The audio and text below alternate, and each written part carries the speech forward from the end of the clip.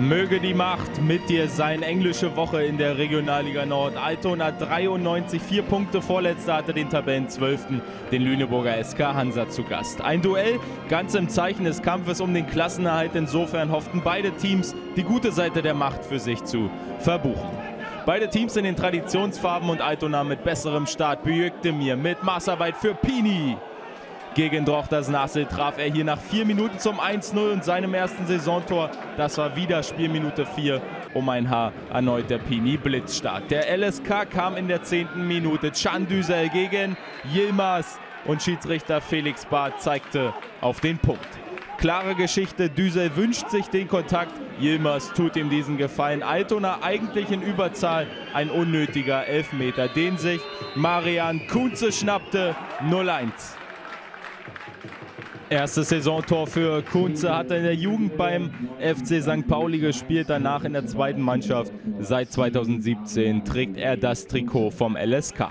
Bei Altona Salah im Tor neu für Grober, der machte den Dancing Dudek-Schuss. Zu platziert die Führung für die Gäste nüchtern registriert vom Trainerteam. Ganz links übrigens Rainer Zobel, der in den 70ern dreimal mit dem FC Bayern den Europapokal der Landesmeister gewinnen konnte. Fünf Minuten vor der Pause erneut die Gäste mit Tomek Power und mit schönen Grüßen ans Aluminium. Dann nochmal der Zweikampf mit Dagot nicht richtig aufzulösen, ob Maximilian Dagot da die Sohle drüber gehalten hat. Der AFC jetzt im Glück. Es gab immer mal wieder kleine Lichtblicke nach vorne, aber die klareren Chancen hatte der LSK. Stefan Wolk mit viel Zeit und dem Auge für Istefo. 45. Minute die Gäste zu einem psychologisch nicht unwichtigen Zeitpunkt mit dem 0 zu 2. Istefo von Ligakonkurrent Jedelo gekommen, von Hause aus Linksverteidiger, aber extrem offensiv unterwegs. Er gewann das Duell der 19er gegen Altonas Mundhenk.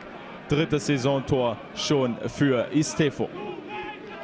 Ein Saisonsieg erst für Altona 93. Berkan Algan schon wieder früh in der Saison mit Sorgenfalten auf der Stirn. Seine Mannschaft versuchte es nochmal vor der Pause mit Peni. Doppelpass mit Schulz und dann erwachte die Adolf Jäger Kampfbahn. Nur noch 1 zu 2. Altona trifft nach zwei torlosen Spielen wieder mal Erdogan Peni mit seinem zweiten Saisontreffer und mit ganz feiner Klinge. Neue Hoffnung also für Berkan Algan und Co. 45 Minuten waren noch Zeit, um zumindest einen Punkt zu holen. Aber Altona tat sich schwer, Chancen zu kreieren. Offensivware im zweiten Durchgang Mangelware. Maximilian Dagot hatte die einzig nennenswerte Szene 1123 Zuschauer an der Kriegstraße bekamen nichts mehr zu sehen für ihr Eintrittsgeld.